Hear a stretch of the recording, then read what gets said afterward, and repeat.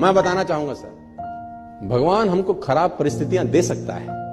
ये उसके हाथ में है। लेकिन उन परिस्थितियों से हम कैसे गुजरेंगे ना, ये हमारे हाथ में है। है ना? ये हमारे हाथ में, ये उसके हाथ में नहीं है फिर। परिस्थितियाँ खराब हो सकती हैं ना। यस खराब हो सकती हैं। खराब हो सकती है। ईश्वर तय करता है कि हम किन परिस्थितियों से गुजरेंगे, और हम तय करते हैं कि कैसे गुजरेंगे। किसी